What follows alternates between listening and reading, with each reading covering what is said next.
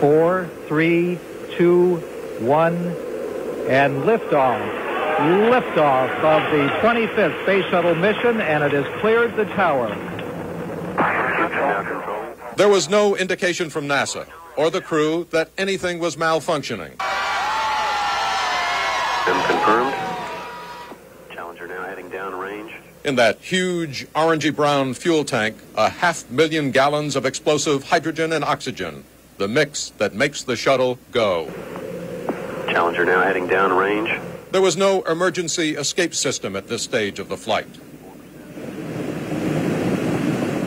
Down below, at the Kennedy Space Center, the VIP section, including crew members' families and friends.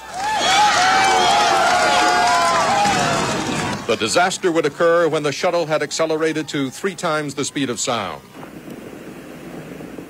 At that time, the Challenger would be 10 miles above the Earth, some 8 miles out over the Atlantic. Three good APUs. Then, seconds before the explosion, a go ahead from Mission Control in Houston, Challenger, go at throttle up. and the final words from the spacecraft. One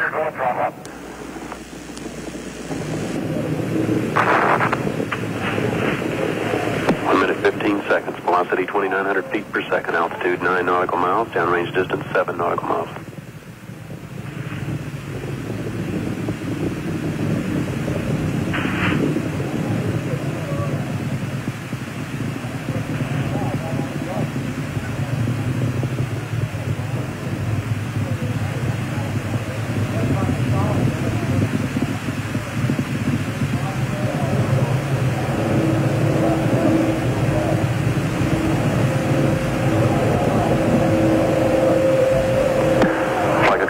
Looking very carefully at the situation. Obviously a major malfunction. Looking at uh, all the continuity.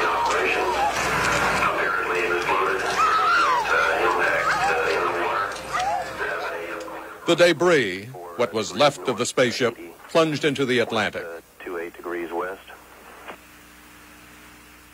Later, rescue and recovery teams arrived and parachuted into the ocean, where, as feared, there was no sign of survivors. This is Mission Control Houston. Uh, we are coordinating with recovery forces in the field.